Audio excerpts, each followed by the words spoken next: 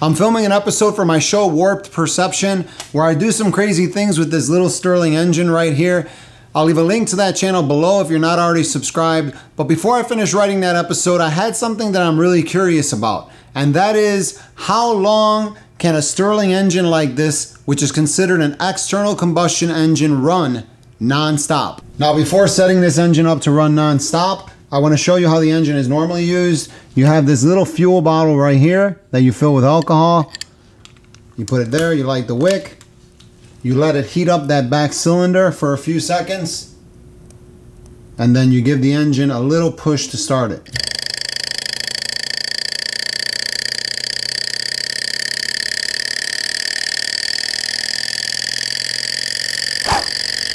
So that's how it's normally used. Now to make this engine run non-stop, I'm gonna have to take this little alcohol bottle out, put a natural gas line in its place, which is basically an unlimited supply of fuel for this little engine.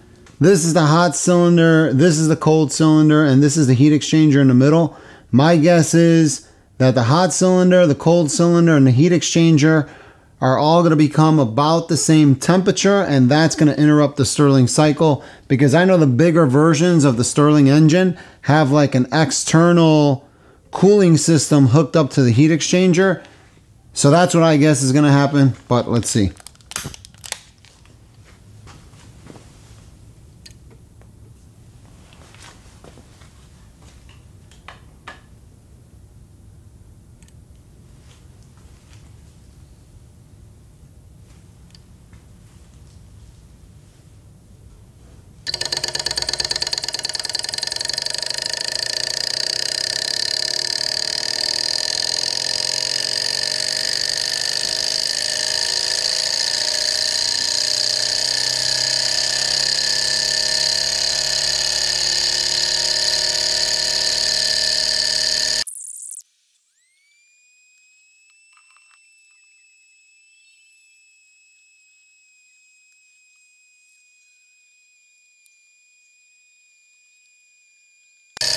Yeah, it seems like uh, the heat exchanger's hot.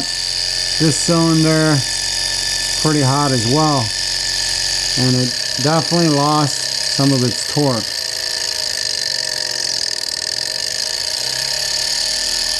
Well, we'll leave it for a little longer, see what happens.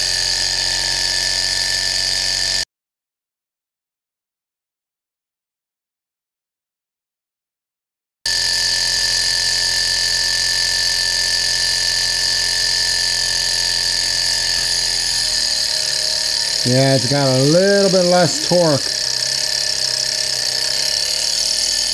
The heat exchanger is uh, pretty hot. It's about 250, no, maybe 300 degrees. That I'm sure is really hot. And this cylinder, I don't know, it's actually it's kind of warm, but it's not too bad. It's maybe about 120, 130 degrees. So and I notice it's making a little bit more mechanical noise now. Maybe some of these joints need some oil, but I'm going to leave it a little bit longer and see what happens.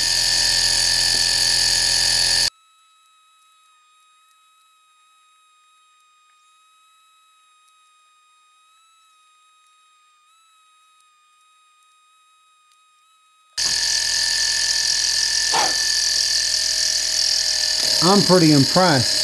This thing's running non-stop. I mean, it's super hot, but um,